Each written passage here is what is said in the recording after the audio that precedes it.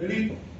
Pero nosotros, por ejemplo, en estas represas hay gran cantidad de árboles que arrastran las aguas de los ríos, que sabemos que cuando viene la época de lluvia, el torrente es un poco más fuerte.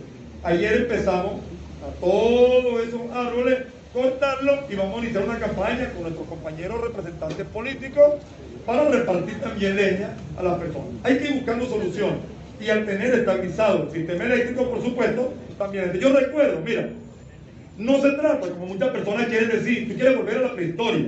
No. Yo me acuerdo que en la casa de mi abuela, en casa de mi mamá, preparaban una olla de grano, una olla de pasta, una olla de arroz y estaban en la cocina.